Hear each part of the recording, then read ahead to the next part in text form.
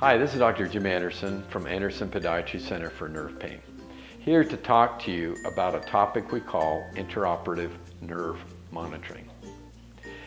We oftentimes treat symptoms of neuropathy, whether it's diabetic or non-diabetic neuropathy or restless leg, with the concept of nerve decompression surgery.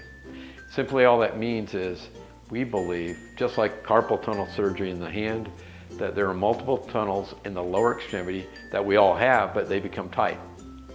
And that tightness, that pressure, injures your nerves and gives you those symptoms that you have. So by opening up those tunnels, we can help you with those symptoms.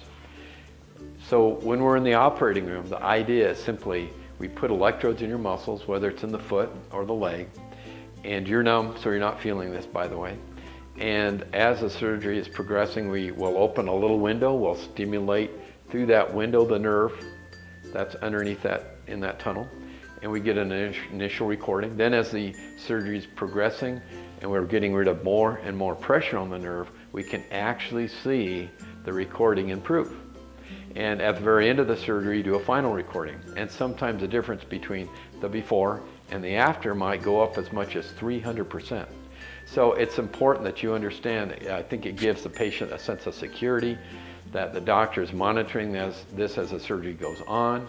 And the other thing it gives you is the ability to see at the end of the surgery how much improvement that you actually had. And it's important for other doctors in the medical world to see this, but more importantly for you to see it because then you can see, and oftentimes it's a good prognosticator as to how much the surgery is going to help you.